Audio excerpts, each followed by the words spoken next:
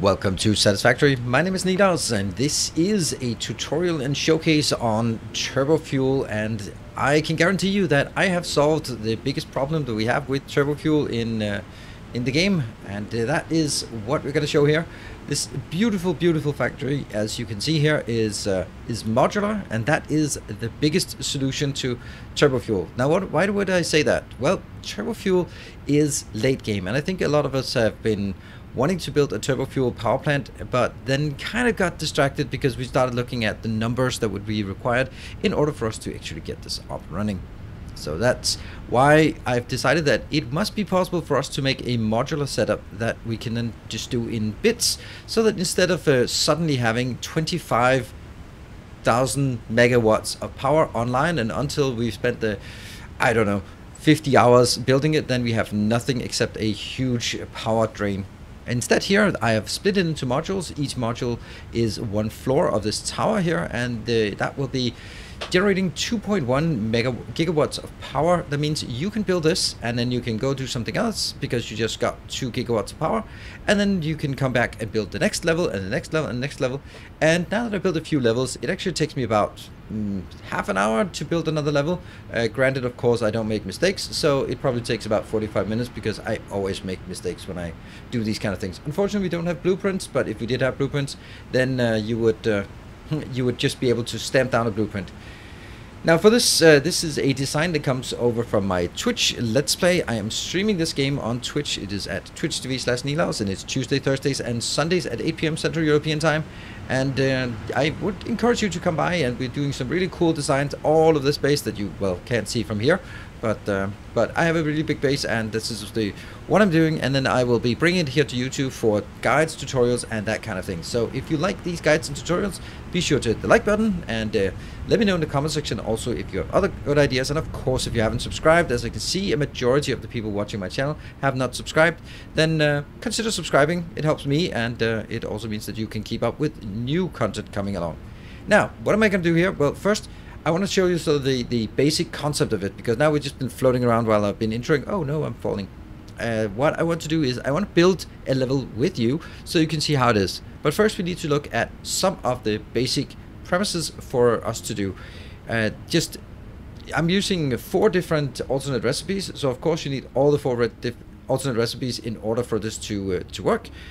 And uh, I think that the easiest way is for us to just go in and build a level of for ourselves. The one thing I want to show you is that the, we have one set of resources coming in for the entire tower.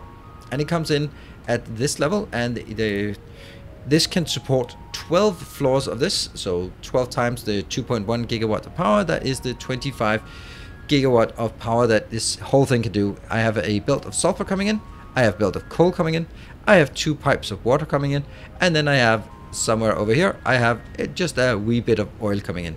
Numbers, this is 337.5 oil per minute, it is 600 coal per minute, it is 600 sulfur per minute, and it's 900 water per minute.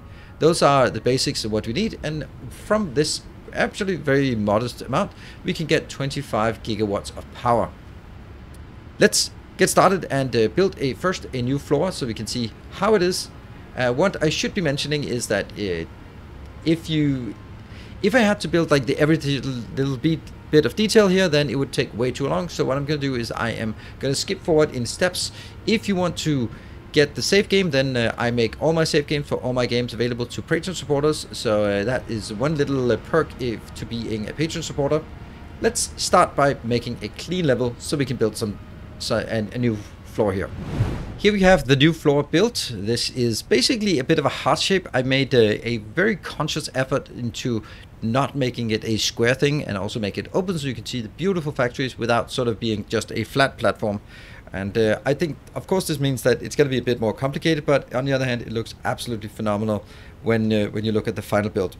Now, what I should uh, mention with uh, these modules, each module here is uh, going to be one twelfth of the entire design, and this comes back to the problem with with modular with a non-modular design is that for this build, I would need 48 assemblers, 60 refineries, 12 blenders, and 168 generators.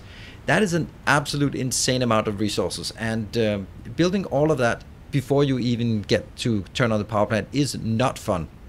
So this way, we split it into modules, and each module will now be two assemblers, five refineries, one blender, and 14 generators. What I'm doing for this belt and or this platform here is that I'm taking it nine tiles up, uh, four tiles, and then I make this little platform. Not really something I'm going to use to actually walk around here, but we can walk around here. Now that we can fly, that's much more convenient. I'm putting the glass floor in just to make sure that there's a bit of light and also so that we can see what's going on downstairs. I think that looks really nice as well. This is where we have the factory part and then we're surrounding it all the way around with the generators. That's like a nice little crisp build so that if we look at it from this side here, we will be seeing that we can get, and if we down here, we can see that this part here is the factory which we built, which is going to be the next thing, and then outside we built the extra the power generation. Let's go up to our level here. Uh, I am using these around here, uh, the edge, just to make it a nice little accent on it, and just to make it, yeah, just to get that color in here as well. The colors are selected by the community. Whoever wins a hype train gets to choose the colors for the next next uh, factory. You can see here I am making these uh, diagonal, and I do that by using the diagonal pieces and then the inverse down corner. Yeah, that's the thing. And I do that all the way around, and that gives us a pretty nice little build here that is a non-square form. Right, so the first thing we do is uh, let's add the buildings so we can see what it is and then go into the actual recipes we need. That will be built right here. So here we built the factory, the factory part of it, and uh, we will go through it in uh, detail and how it works, and it'll also reveal the specific alternate recipes I'm using. So the way I'm uh, going to do this, there are two different ways that are highly effective to do this, and uh, they both revolve around diluted fuel. And I've chosen this. You can choose the other one. It is uh, it's basically whether you feel that oil or sulfur is most uh, precious. In this case, I have oil. I in this case I have sulfur and coal nearby, so I choose the path that is using sulfur and coal. Uh, basically, what I'm showing here, you need turbo fuel and there are different versions of making turbine fuel. There are two versions, either from the heavy oil or from the diluted fuel. And I'm going to go through the diluted fuel version or the fuel version here. That means I need compacted coal and I need the fuel. Let's uh, walk through it. This is what I do. I do, uh, first thing I do is I take the crude oil in and I have scaled this down to 93.75. It's very important. Uh, this means I get 37.5 outbound this is the heavy oil residue that I need. Then I take the heavy oil residue into a blender nearby. And uh, if you look here, it, no, it's not making the turbo fuel. It is actually using the diluted fuel at 75%. 75% means I use the 37.5 heavy oil residue and then I need twice as much water, so 75 water, and that gives me 75 fuel outbound. This is an absolutely insane recipe. It's probably like the, the one that the one recipe that makes the biggest difference this one. I mean, you just basically make fuel out of water and a bit of heavy oil residue. This is absolutely amazing. And uh, then for the compacted fuel, uh, the compacted coal, we just use this recipe. There's only one for compacted coal. So these are all alternate recipes that you uh, you need. And here, compacted coal, I need two of these because I am scaling this towards each level here being uh, is being scaled towards these two operating 100% of the time. So I am scaling this towards 50 compacted coal per minute inbound. Then over on the other side, over here, we have this is scaled to 83.3333 something something, and uh, that will give us. I think we need to to do that. It's 18 point there times 83.3 there. Uh, oh, hold on. Let's do 0 point. That one times 4. There we go. So that's 60 2.5. That is uh, our, that's how much turbo fuel we're making. This is again one of the recipes. I am using compacted plus the fuel here. Now there is a, a way that you can, if you use the other recipe for turbo fuel, that one heavy turbo fuel, then you need the heavy oil in here. Uh, the advantage of that is that you get, you use less compacted coal, but you need a lot more oil. So which one is better? Well, if you have lots and lots and lots of oil and feel that sulfur is your main constraint, well then uh, choose this version, but that's a completely different design. But in this case, I am designing it towards having a single normal sulfur mine, and that will give me 600 if I fully upgrade it and use a Mark III miner, which I will eventually do. So far, it's only running on a Mark II miner because I don't really have the turbo motors yet. But uh, that's uh, that means I just can't build it all the way up to 12 levels, but only 6 levels. That's perfectly fine for now. So anyway, this is what I do, and uh, this is the recipe I use. And uh, it will be scaled towards using exactly the 50, 50 oil coming in, or 50 compacted coal that goes in here. And uh, that means those are the four alternate recipes we need and uh, that the turbo fuel, the compacted coal, the diluted fuel in the blender, and the heavy oil, uh, the one with the this one is actually also a, this heavy oil is an alternate heavy oil residue. And now the next thing we want to do is hook up all the power, the inputs and outputs. And there are here are a few quirks in order to hook it up correctly. So uh, let's uh, let's take a look at that in more detail on how I did this. But by the way, before we do that, if you want to build this yourself and you somehow managed to build this platform correctly, and you're kind of in doubt, how do I place this? The trick is, this is the first one you place and you place it one, two in the middle of the third tile. So you build that one here. And this is the location. So once you build that, it's it gets a lot easier because everything else is just flush to that side. This one is flush and this one's flush. These are all sort of put on the same middle line all the way through, aligning to that one. Over on the other side, this one is the only way you can actually make it, basically. Uh, the important thing is that this output and uh, this input and this output have to be across from each other so that you can dig a nice straight line in here. And of course, as always, I am always placing refineries like this because it makes it easier for us to do the belts in and outbound. So with that being said, it was just a little hint on how, if you want to build it yourself, how to build it. Let's uh, let's jump and uh, let's take a look at how I do all the inbounds and outbounds to fit into all of this. So here we have uh, hooked up all of the machines in part of the factory build of this level. And there are two things I want to show you how that's done because this is a vertical build. So that means we're going to need pumps and we're going to need uh, elevators. It would be much, much easier to make it a flat build, but it will also just be a very boring build that I'm sure that you've seen other people here on YouTube make those kind of builds. But I want to make mine interesting and different and cool and I hope you appreciate that it's it's different.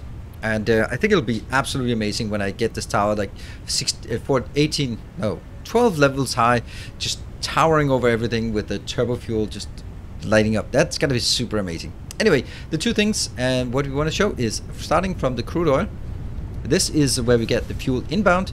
You can see here that these are well this intersection the junction is turned upside down and I want, just want to show you how to do that in case you are not don't know. If I want this one to be up, then no amount of spinning will make it go up. That is okay because we can just do this one here. And then I remove it. And then you will see that now it rotates because it's hooked up to this point and then it can rotate to become vertical. That's how I basically make it vertical and if I jump one level down then you can see how I do down here. Oops. Because it is important for me that there is one line coming in for everything. That means there is only one oil line coming in. This will be having 337.5 oil coming in per second. It's going to have more, but that's the part I need. It goes in here to the, the current one or the one below, and then it goes up. And of course, I have a pump pushing it further up. I'm just using pump Mark II pumps because there's absolutely no reason not to use a Mark II pump. So that is one of the reasons why I, one of the cool things of how to get it all the way up. And that also means that we have it here. This will be ready to bring it up to the next level once we build that. But of course, I am not building anymore. The top level will be sort of only half built. You will have the platform in here in the middle, but I won't build up here and build the roof for it because I think the top level should look nice. Uh, the other thing is uh, the solids. How do we deal with that? That's probably easier to uh, to show down here at this level. Now, what is important for me is that as I zoom out, you will be able to see that there is one consistent line going all the way up. It would be much, much easier if I alternated it left, right, left, right. It would be so much easier, but that would not be uh, what I'm interested in. So what I'm doing here is it comes out of the ground, goes into a splitter. Uh, this splitter is then splitting it out to this level, and then continues, continues up and into this one. This doesn't need to be a splitter because it's not connected to the next one. But it is just, for me, it's much easier to do with a splitter. I'm just going to show you that one. And sorry if there's a bit of noise in the background. I have carpenters uh, building stuff in my house, and uh, I, I don't know when they're going to be quiet, but I need to get this recorded today. So sorry about that if you can hear it in the background. Hopefully the noise cancellation does help a bit. Anyway, so this goes up here, and the, basically the point of from here is that it just goes back so that it goes up and into the hole to the next level at exactly the right location. Moving on up, we have here getting that one in. And that means we have sulfur coming in here, and we have the coal coming in here, and they will spread evenly into these two. Now, the one thing we also have is that from our heavy oil residue production, we have some polymer resin. This needs to go down, so it goes in here, out here on a very slow Mark 1 belt, which will then be a merger, and then go down. You can see it goes down here. It ho hopefully should. There we go. Zoom, zoom, go back, go down. And then you can see it all the way down there, and that's just being synced. Sunk? Yeah. Flushed into a, an awesome sink. Right, moving on uh, to the next part. Here we have the outbounds. This is the compacted coal going out. And in here, and just the normal manifold going into all the locations. The reason why I said that I wanted to make this, uh, let me, sorry about that. That's a bad flying, bad case of flying. This is why I'm always placing the refineries in the middle. I'm placing in the middle because that means when I place the splitters here in the middle, it'll exactly fit with a conveyor lift linking automatically between this and this and I like that.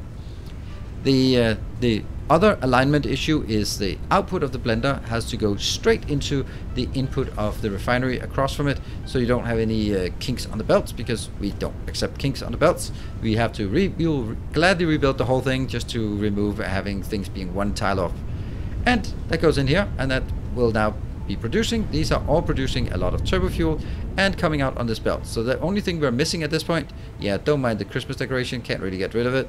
Uh, the only thing we miss is now hooking up all of the all of the power plants out here, or the fuel generators, they can be nestled all the way around here. There should be 14 to consume. The amount being generated here is 62.5, and if I look at this, it is 62.5. Uh, that's not what I want let's see, I'm building 14 power plants. Yes, and 14 power plants, they will all, each of them will produce, will consume 4.5 per second. It's not how things work. They will consume 4.5 per second. That means I am potentially, each floor can consume 63 and I'm producing 62.5. In my world, it's not even one off, it's half off. So that is brilliant, perfect ratio. I am very happy about it with that it flickers just a teeny bit once in a while, I you can always uh, downscale one of the generators if you feel so inclined. I don't. I'll just leave it as as it is. And uh, whoa, uh, what I will then do is uh, let's hook up the generators and take a look at that.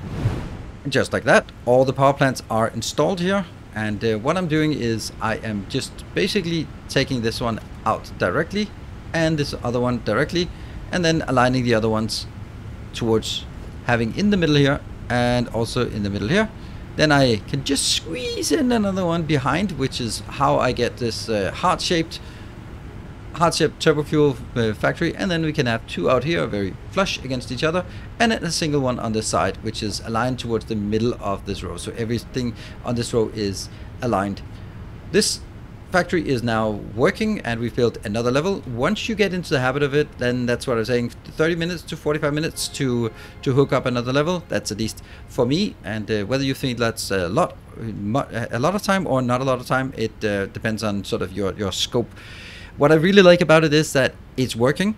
And if I need more power, I can just add another level. That's the brilliant part of it. Uh, we are going to just add one more level just to uh, just to show how uh, easy it is. Well, I am I'm going to do that. And there is a new level added all the way up. And here we have the next level added. One of the cool things about this, that means that if you want one want more to add more levels, then uh, all you need to do is, this is how I do it at least, I go in and say, I need two assemblers, I need one blender, and I need five refineries. Then I go over here, power, I need 14 fuel generators. Then you can also go in here and say, well, maybe I'm just gonna need three pumps. And then you have over on the side how much you actually need, your shopping list, so you can go back and get the stuff you need. On top of that, remember, also bring in concrete for the flooring and uh, copper sheets for copper sheets and a bit of plastic for the pipes and some steel beams on top of that because you're going to need that for the steel beams if you choose to do these around the edge. They actually take quite a lot of steel beams. So be uh, mindful of that and that means we now have our power tower and I can just keep expanding this one as much as I like. Okay uh, let's not kill ourselves here Okay, there we go. We are now hovering. So this power tower is uh, just available for us to build, and uh, yeah, I hope I hope this is inspiring. I mean, I don't really necessarily know if this is useful. I don't want to get into a discussion of whether this is the absolute perfect recipe to use because there are different ways of doing it. I absolutely love this recipe. It fits me perfectly, and uh, I feel that this is more valuable for me to use less oil and more sulfur for, for all of this build. Uh, you might feel, feel that it's different, also depends on where you're building it. I'm building this one quite in the middle of the map, right here. And the reason I build it is because I have some sulfur over here, some coal over here, and some oil right here. So I felt that this was a good place to build it. And then it will also be sort of towering up above everything else in the factory in the factory because it's built quite a bit up and I have a train station to support it.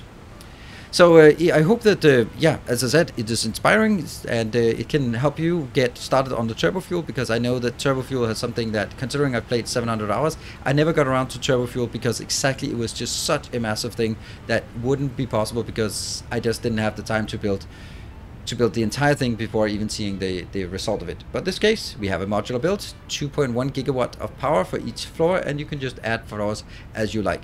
Hope you are finding it interesting. If you are, then be sure to hit the like button. It actually helps me quite a lot. And of course, if you have ideas or comments, then leave a comment below. And uh, I would appreciate if you are subscribing if you find this useful and want to see if I have uh, any other tricks up my sleeve in upcoming videos.